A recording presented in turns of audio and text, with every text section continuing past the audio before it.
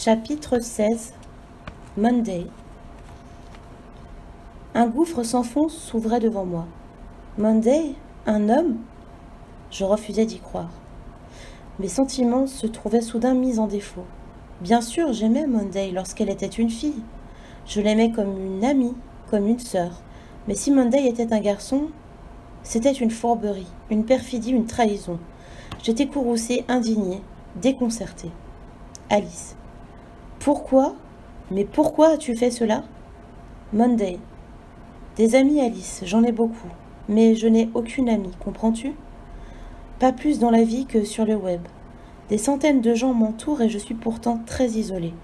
Quand nous avons commencé à débattre dans ce salon collectif l'an dernier, j'ai su que tu n'étais pas comme les autres. Tu t'exprimais différemment, tu nuançais tes opinions. J'ai compris que tu étais une lettrée, Alice. Une lettrée sur le web. C'était rare, précieux, inespéré.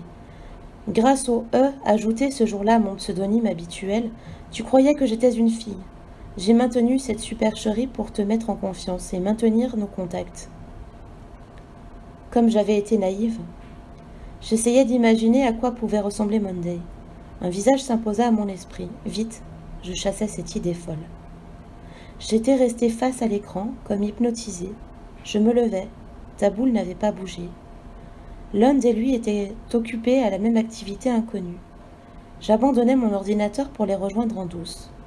Je marchais en prenant garde de ne rien toucher ni renverser. Mes jambes flageolaient, comme si je redoutais de découvrir la vérité.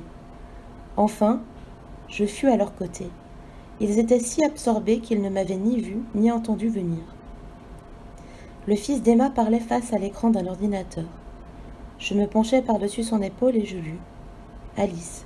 Confiante Oui, je l'ai été. Monday. Je sais que je n'ai pas d'excuse, Alice. Toi, tu ne m'as jamais déçu. Alice, réponds-moi. Alice? Pris d'un doute, Son se retourna. C'est Lund qui me fit face. Il sut que j'étais là, je le vis murmurer. Et oui, Alice, Monday, c'était moi. Et cela, j'ai peur que tu ne me le pardonnes pas. Je n'avais qu'un moyen de lui répondre. Je me jetai dans ses bras.